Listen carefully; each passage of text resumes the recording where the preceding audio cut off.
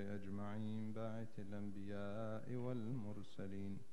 ثم الصلاة والسلام على أشرف الخلق وأعز المرسلين حبيب إله العالمين أبي القاسم المصطفى محمد. اللهم صل على وعلى آل بيته الطيبين الطاهرين المعصومين المنتجبين سيما بقية الله. روحي وأرواح العالمين له الفداء. بسم الله الرحمن الرحيم. اللهم كل وليك الحجة ابن الحسن.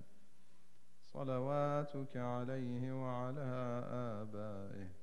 في هذه الساعة وفي كل ساعة وليا وحافظا وقائدا وناصرا ودليلا وعينا. حتى تسكنه أرضك طوعا وتمتعه فيها طويلا. قال الله الحكيم في محكم كتابه الكريم بسم الله الرحمن الرحيم. ولقد نعلم أنك يضيق صدرك بما يقولون. فسبح بحمد ربك وكن من الساجدين. واعبد ربك حتى يأتيك اليقين. آمنا بالله صدق الله العلي العظيم. اللهم صل على محمد وآل محمد. Dear mu'mineen, mu'minat, brothers and sisters, Assalamu alaikum wa rahmatullahi wa barakatuh. May Allah subhanahu wa ta'ala accept our efforts and our amal, our fasting, our prayers, and may He make it amongst, make it with taqwa, so inshallah it is rewarded on the day of judgment, inshallah.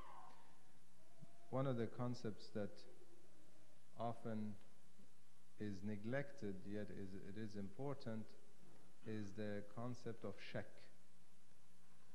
And we need to address that. In fact, one of the brothers earlier in the month asked that we speak about shak and whether having doubts in our religion, not in the, I'm not talking about shak in salat or shak in these, uh, in ibadat, but doubting in the principles, doubting the basically usul, doubting, for instance, the day of judgment, or doubting the nubuwwah, or doubting the Quran, or doubting, you know, some of the core principles of our religion.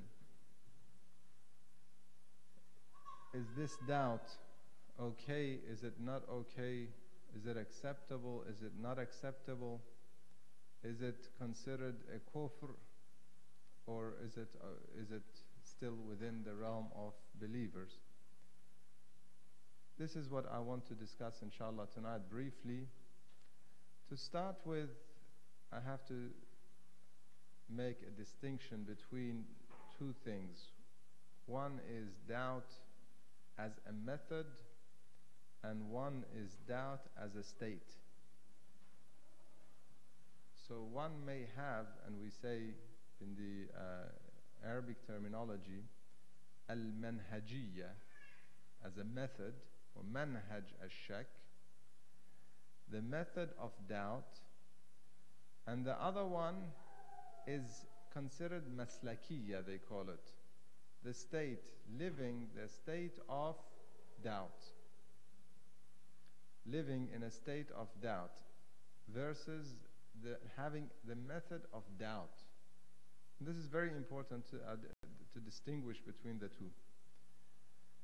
To have doubts as a, as a method through which one reaches certainty is actually a positive thing. In fact, if we don't have doubts, if we simply accept whatever it is that we were given, and we don't question and have doubts, we will not reach the truth. So, God forbid if one is born, if one says doubt is bad and encourages not having any doubts as a method, then you are encouraging people to stay in any religion or faith or group of uh, ideology that they were born in.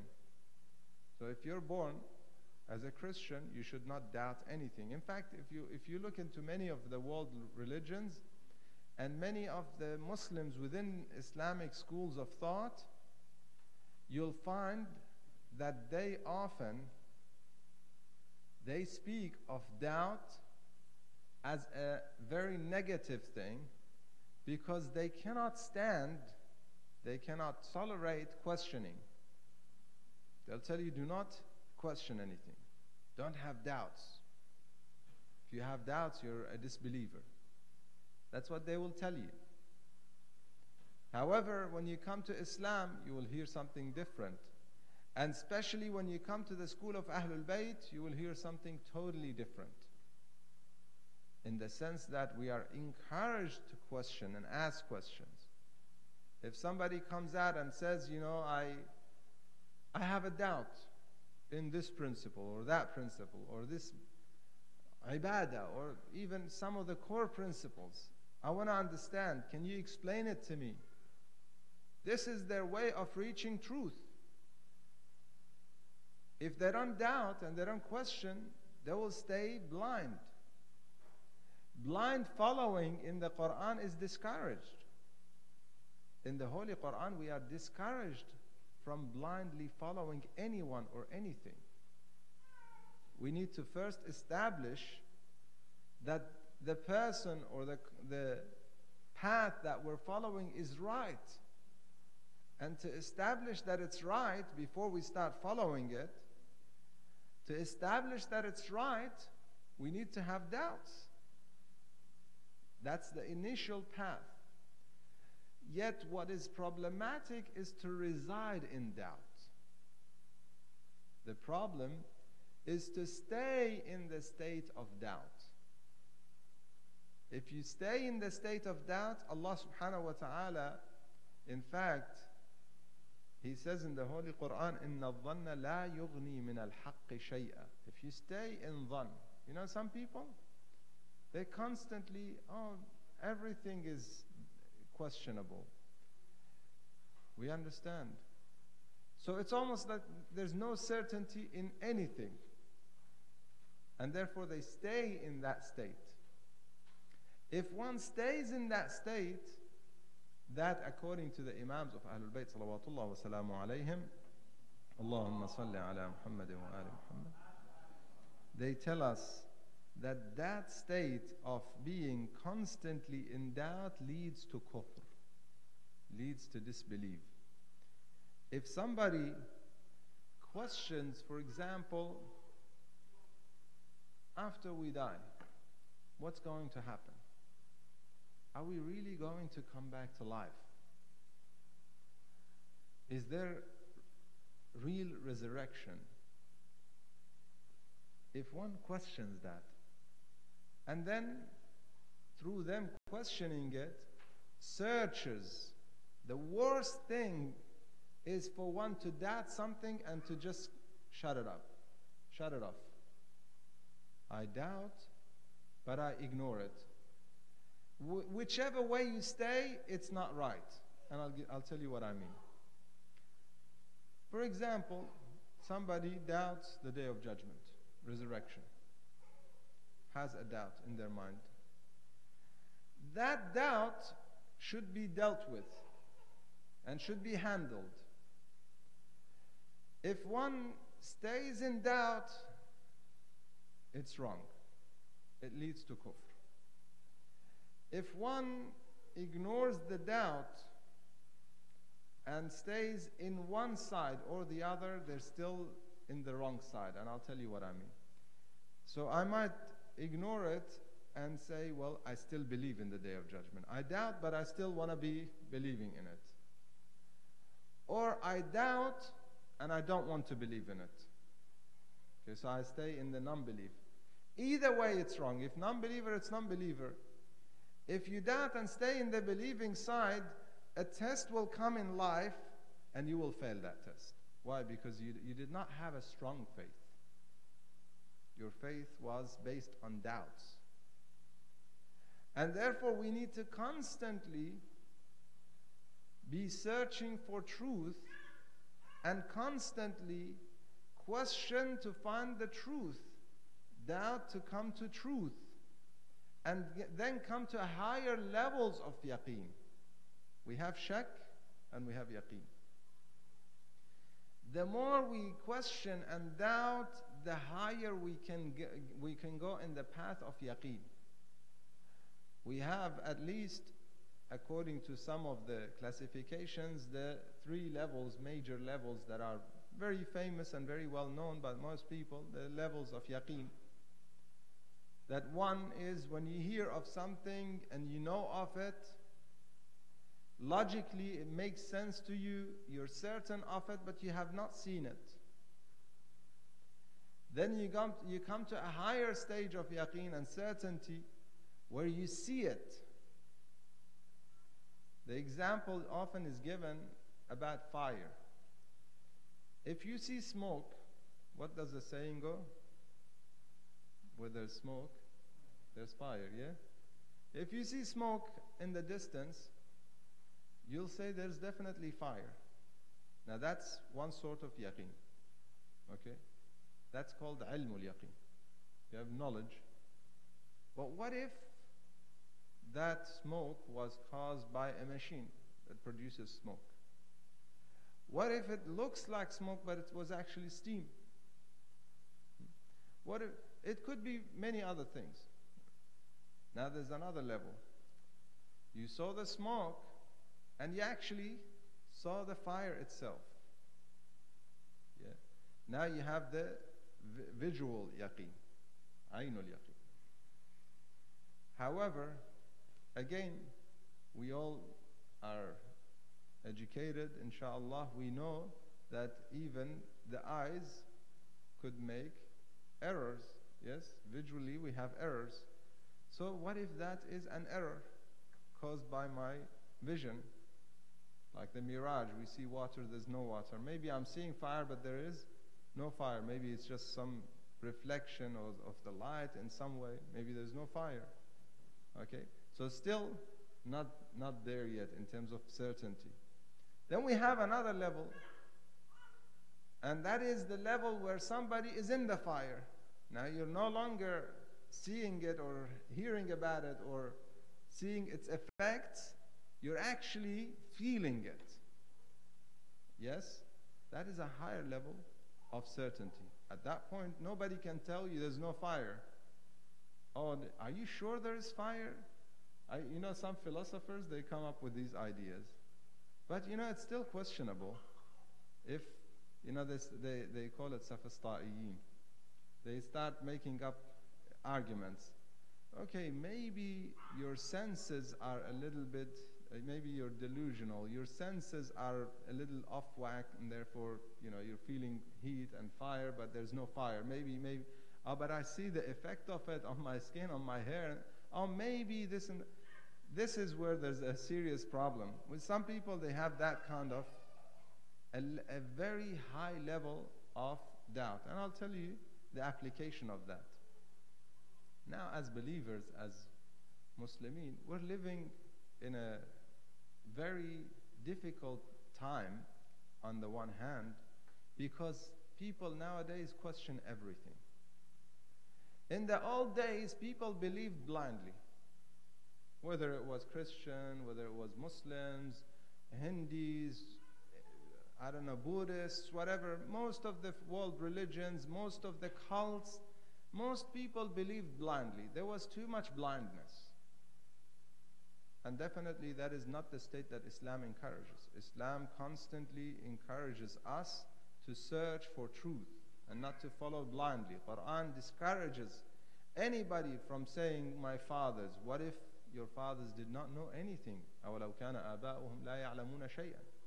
What if they, didn't, they knew nothing? What if they were completely wrong? So we need to ask. We need to question. There's nothing wrong with questioning. If somebody thinks that questioning our faith and questioning our principles is kufr, they don't know what is iman. Because iman is from the heart. Yes? And if my heart is not in tranquility, yaqeen is the state of tranquility. Yaqeen is a state where one is at ease. They don't have any doubts that shake them. They are completely at ease. They are in tranquility, in peace. If I have doubts and I build my faith on doubts, I'm never in peace. Therefore, I don't have Iman. Iman has to be very deep in the heart. And therefore, questioning and having doubts is not, by essence, there's nothing wrong with it. In fact, it is encouraged as a means of gaining that certainty and gaining that level of yaqeen.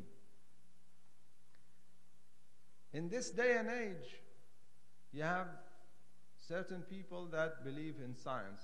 I have many people, they say we are secular, you know. Almaniyin. Okay, no problem. Believe in science. But are you believing in it because it's the modern thing to do? Are you believing in it because my father or my tribe became that and now we have to follow them? Because there are people like that. Or within that, are you still continuously doubting and searching for truth? You know, somebody came to the Salatul Jum'ah in one of the, the, another, the center in Sanford and said that he has accepted Islam a few years ago. So what I said to them is the following.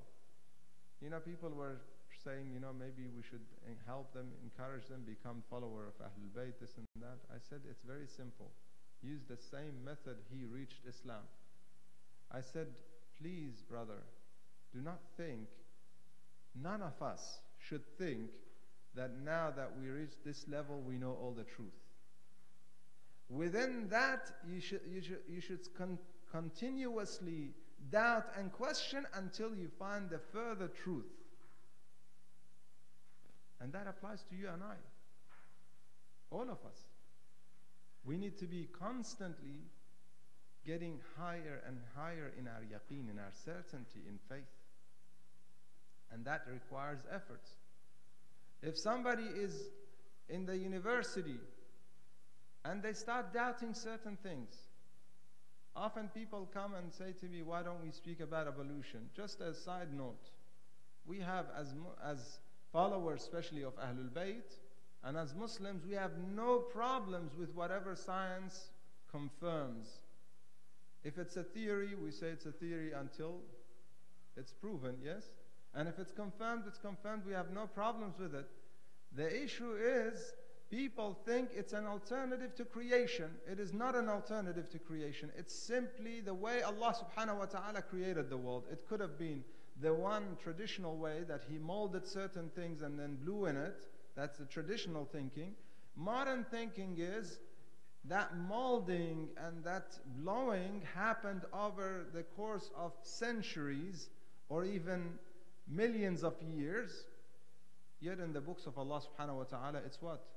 Kun fayakun. In the books of Allah subhanahu wa ta'ala, the whole world is kun fayakun. Time applies to you and I. The time that we're living in this universe and in this world and in this country that we're living in, the time that we pass in, uh, on a daily basis applies to you and I. Not in the books of Allah subhanahu wa ta'ala. And therefore, there's no contradiction even if they, they in fact we have reference in the Quran about some of the principles or some of the theories including the Big Bang theory. Uh, do, do the non-believers not look in the heavens and the earth how they were one and then we split them and then we made living things every living thing from water? Pretty much what they go on about the Big Bang. So we have no problems with scientific findings and if those findings lead us to further truth, to strengthen our iman, it's even better. You can find Allah subhanahu wa ta'ala anywhere you want, in anything. If you're looking for truth, you will have nothing but to find Allah subhanahu wa ta'ala. in any field. And this is something I tell anyone, whether you're in biology, medicine, science, physics, astronomy, psychology, whatever field you search, you will find Allah subhanahu wa ta'ala if you're searching for truth. That's why the greatest inventors, yes, their biggest problem, and in fact, one of the biggest problems of the university versus the church was the fact that, church, that the church was using, they call it blinders. You know that when they put the horse or the mule to take luggage and to carry those carriages and so on, they put blinders for it so that, or the donkey, so that it doesn't see the sides, it doesn't get distracted, concentrate on your path. And often people of religions, different religions, they want you to have blinders. Don't look the, on the side, just concentrate on this. This is not Islam and this is not the school of Ahlul Bayt. And if those scientists were exposed to the school of Ahlul Bayt, they would have nothing but admiration for religion and for Islam. Why? Because it encourages. The reason why today we have modern medicine is because of Ahlul Bayt teaching the then scientists that became the fathers of different fields in medicine and in chemistry and so on. And this is not my topic tonight, but you go and research and you'll find. The school of Ahlul Bayt encourages us to search and research. And when you do that, you're looking for truth. Al-hikmatu dallatul mu'min. Wisdom is the last property of a believer. Should constantly, constantly be looking for it. Don't ever think that we have it all. That's it. We're, we have reached the level of. No, we need to doubt in order to reach truth doubting in the method of creation. Sometimes one may doubt, and it's not right to stay in that state. As I said earlier, to stay, stay in the state of doubt is the problem. Often people end up having that, uh, staying in the state of doubt, which again leads into kufr. One has to get out of it. Either they search or they have to ask. Quran says, فَاسْأَلُوا أهل الذكر.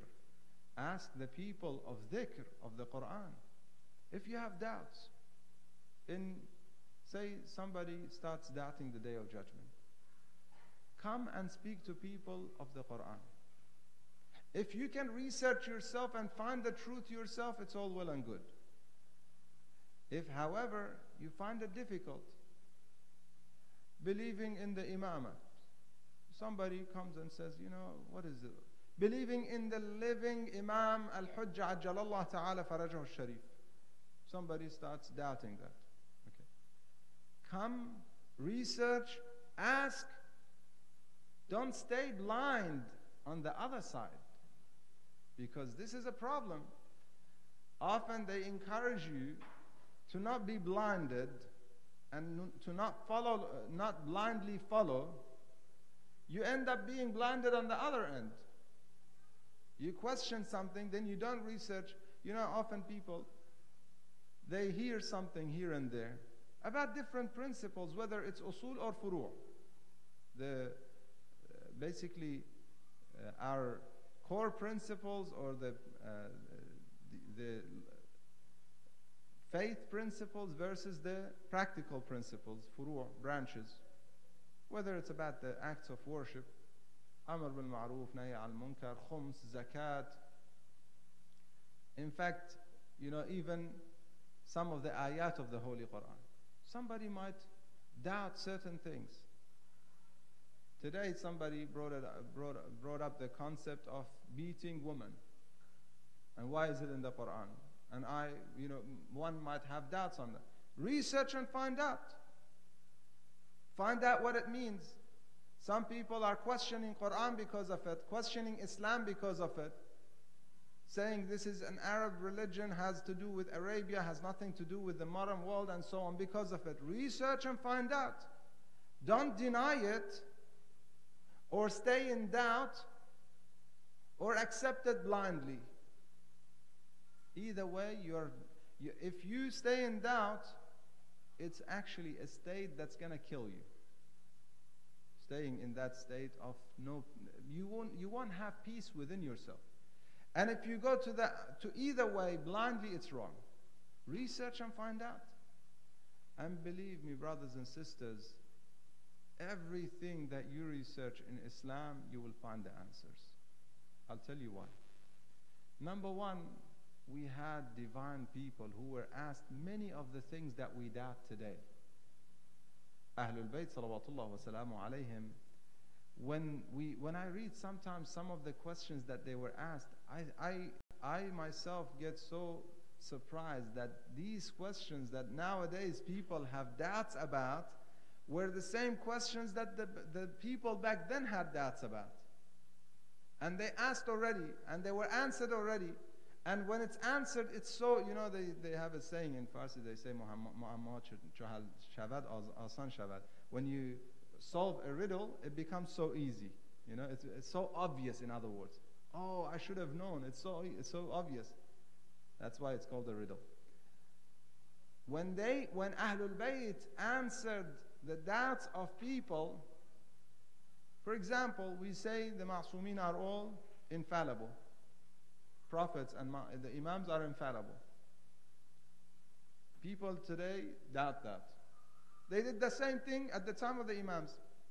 There's a debate between, or a discussion between Al-Ma'mun Al-Abbasi, La'natullah alayh, that he poisoned Imam Rida alayhi salam, and Imam Rida alayhi salam. He asked him, he said, you say that the Imam, the prophets are ma'sumin. They're infallible. They did not commit sins. How can you then explain to me this ayah in the Quran, this ayah in the Quran, this? Every one of them the Imam answered. And you know, when he got the answers, he says, You know, now that you solved it, it makes no other sense. It does not make sense any other way. This is the only way now it makes sense. This is something that happened centuries ago. And it's available to us. Ask Ahl al Dhikr. We have them. Then the other thing is, the, the, the reason why I say, the two reasons why, anybody searching for truth will find the truth and will not have an issue and will find the truth through divine means. Either Ahlul Bayt or our direct. Inna lillahi ala nasi hujjatan. Imam Sadiq alayhi salam says, Allah subhanahu wa ta'ala put two proofs against people. Hujjatun zahira wa hujjatun. One is the apparent and one is the hidden. The apparent one is the prophets, the imams, all the Nabiyyin and the Imams. They're the Hujjat al-Anbiya wal-Rusul al-Awsiya. These are the apparent ones. What about the Batina? أما الباطنة فالعقل our intellect. It is a proof that Allah subhanahu wa ta'ala put within us. If we follow our intellect, seeking the truth, the truth is within us, our fitrah. If we are seeking the truth, and follow our in, uh, use our intellect, we will simply go back to the truth that Allah subhanahu wa ta'ala created us with. Inna lillah wa inna ilayhi raja'un. This is not, there's no doubt about that. And we have the means which is Al-Hujjah al-Zahira, Ahlul Bayt, the Imams and the Prophet sallallahu alayhi wa sallam. We have them all. The line I want to finish with is, brothers and sisters, doubt is fine as long as you, you don't stay there. You research to find the truth, to come to the truth. And if you stay still in a little bit of that, our ulama, they say, do then the following. Recite the Quran, ألا بذكر الله تطمئن القلوب and do ibadat acts of worship, salat and recitation of the Quran. It brings peace to the heart. If your heart is not at ease, recite the Quran and it'll bring peace, inshallah, to all of us and to anyone in doubt. We ask Allah subhanahu wa ta'ala to clear our hearts from doubt and make us amongst those who reach certainty وَعْبُدْ رَبَّكَ حَتَّى يَأْتِيَكَ الْيَقِينُ We ask Him to make us amongst those who listen to what's said and follow what's best وآخر دعوانا الحمد لله رب العالمين وصلى الله على سيدنا محمد وعلى آل بيته الطيبين الطاهرين Allahumma salli ala Muhammad wa ali Muhammad. We have three minutes for questions if there are any questions. Yes.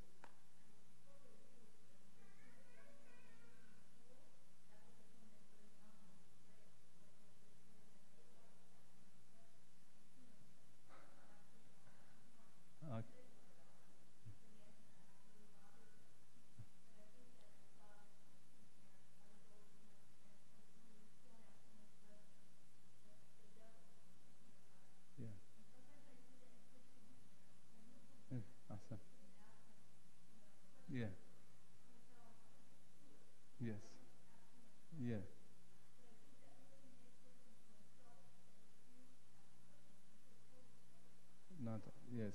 Very good, thank you. Actually, this was a point that I uh, did want to bring up, and I'm glad you did bring it up. So, uh, as a Christian, you grew up in an environment where they said, don't ask questions, that's the devil coming into you, and don't ask too many questions, that's not right, and so on.